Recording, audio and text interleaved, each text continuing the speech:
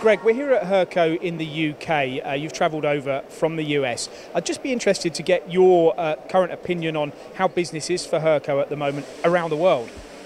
Yeah, so uh, in 2019, obviously, we're experiencing, as uh, the entire industry, is a little bit of a slowdown.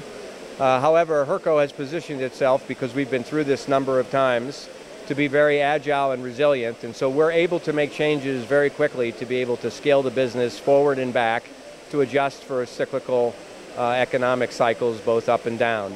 So uh, we look at this as an opportunity when we see any kind of slowdown coming because this typically is where we invest more in R&D and we provide um, innovative features so that when we come out of the slower periods, we have products and services uh, that are ready to go that we can offer our customers uh, where many of our competitors have cut costs and they've reduced their uh, R&D and engineering um, expenses. And what are the good markets for you at the moment geographically? I mean, is Europe is Europe performing better than the States? China, obviously, you know, where, where, are your strengths and where are your weaknesses around the world? So what's really nice is that we've tried to create these multiple pillars of support uh, worldwide. Um, and so uh, the, the US, Asia, and Europe are, are our three pillars. And obviously, uh, uh Germany is our biggest market and normally is, is the uh, is the division that sells the most machines and also you know, makes the most amount of uh, revenue or turnover for the company. Today we're, they're experiencing obviously a little bit of a slowdown, but what's nice is that some of the other pillars, the UK and the US, continue to be fairly strong. And so uh, what we would like to think is that we won't ex experience a, um, a, a coincident slowdown everywhere and that as long as we can manage that amongst those pillars, that ensures that we sort of continue to grow and we keep pace with the industry. Uh, it's quite an accolade, though, for you to have such a strong uh, position in the German market when there's so many machine tools manufactured there. For you to kind of break into that market and do so well, what do you put that down to? Well, you know, I think they've created a very uh, good brand reputation over the years. We don't typically compete for price uh, in those markets, and so uh, the value of the machine tool and the control um, you know, has been built out of the innovation and the technology and the software enhancements that, uh, that go into it. And so they are certainly a, a, key driver and a key market for determining what continues to go into the control.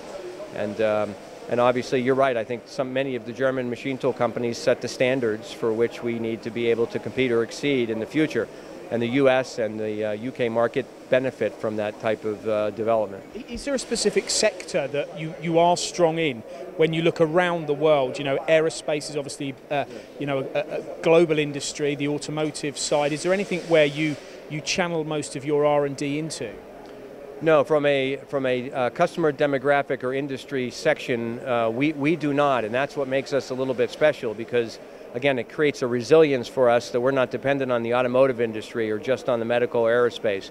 Uh, we create a machine tool that can be used in almost all those segments, and our customers right now are broken up so that there isn't one segment that dominates sort of the consumption of our machine tools. So, so the answer is that when we tend to uh, we tend to try to appeal to all the customers in a more generic sense, and uh, that gives us this resilience to not be affected so much by any cyclical downturns that occur. Which is why you're doing well, and we often talk at MTD about the fact that it's hard to improve hardware these days, and most of your benefits will come from software because the hardware's got to such a level that you know any gains can now be made by making controls easier to use, making them more powerful.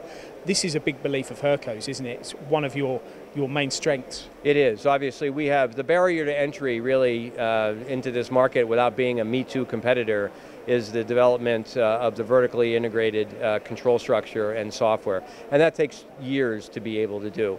And, um, and so, so you're absolutely right. That's something that we, we tend to take a lot of pride on, and that is our differentiator in the markets. Uh, you must project, you must look a few years forward. Where do you see the whole of manufacturing around the world in a couple of years' time? Well, you know, it's interesting. I just came back from a forecasting conference, and uh, it, it's, it was far more optimistic than I expected. So, you know, uh, barring some short-term cyclical uh, months where we may have a little bit of a slowdown, it looks like the next decade is going to be pretty positive. So we're pretty excited about what we're going to be able to achieve and do. And Hurco is going to continue to add more products to its portfolio, expand in regions and markets where we don't currently exist today, and continue to develop and innovate our software uh, at the rate that we've been doing over the last 10 years.